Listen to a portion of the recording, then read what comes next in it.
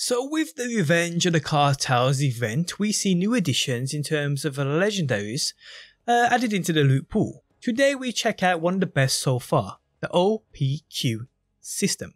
How's it going guys? My name is DPJ and today I bring you another BL3 video. If you do enjoy it, leaving a like really helps out. If you guys want to see more Borderlands, be sure to subscribe. So fans of the Q system will be more so interested in this over others maybe. I was the same. The OPQ system is this game's legendary variant of the Q system and well, it does not let you down. Man oh man, I am absolutely loving this thing best assault rifle in the game, but it's kind of too early to make that kind of a judgment, but it's definitely up there people. So this OPQ system is an exclusive drop to the Revenge of the Cartels event. As far as I am aware, it's a random drop upon the Villa Ultraviolet on Joey's planet.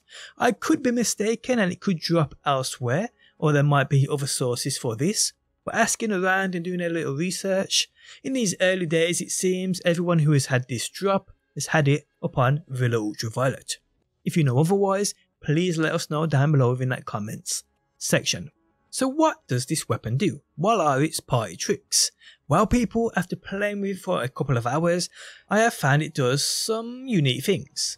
As upon hitting shots, it has a high possibility of dealing additional shot damage, which is at about that 50% mark of its standard damage output. And it also doesn't matter if it's a body shot or a crit shot. Now this additional damage I'd say is probably 1 in 2 or 1 in 3 of every shot you fire, which is a great addition for sure, but it also has a second firing mode called OPQ system, in which you fire at the weapon itself and it acts like a turret that follows you around and basically does what this weapon does so in reality doubling its power.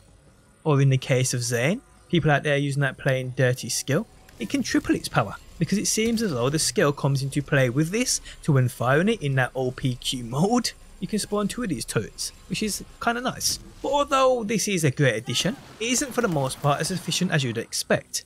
Taking everything aboard though with what this weapon offers, this is just an added bonus for the most part, and I feel you won't even need to use it and I say this because this weapon utterly melts all. Now I got this playing on Mayhem mode at level 10, struggling through the Villa Ultraviolet, dying left, right and centre, but as soon as this weapon dropped, I equipped it and tore through the entire thing. This is on a standard Mayhem 4 build by the way, and this weapon just absolutely obliterated all, including the boss. And it's because, like we see, like the old Q system, is a 2 times variant, but it doesn't use 2 ammo per shot, so this variant and Mayhem 10 version deals over 14k per shot. 14k people from an assault rifle. And then we have this anointment, which I am still testing by the way, but it does help an absolute ton. And I feel this may just take the place for that classic Zane Sentinel Cryo damage anointment. But a little more testing needs to be done there.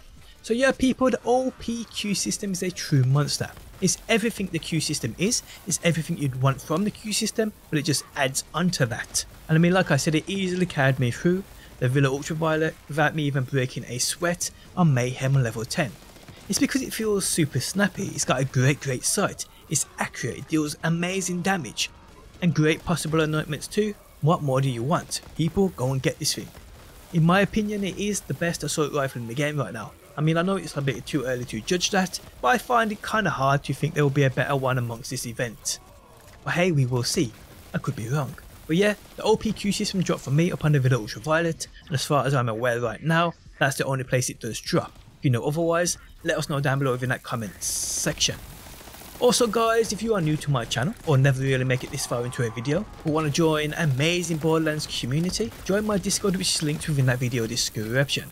I have dedicated trading sections for all platforms, dedicated looking for group channels for all platforms, and much much more. Again, join my Discord linked within that video description. But yeah guys, these are my thoughts on OPQ system, a true monster of a weapon which you need to get. On that note, we have come to the end. If you guys enjoyed it, leaving a like really helps out. If you're new around here and want to see more Borderlands, be sure to subscribe. And if you never want to miss a video I upload, you can turn notifications on by hitting that bell button. But guys, thanks as always for stopping by. Hopefully you enjoyed the video and hopefully I'll see you on that next one.